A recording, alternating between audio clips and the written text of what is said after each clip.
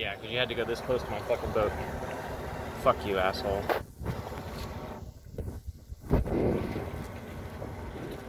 You're not fucking speeding, but fuck you anyway.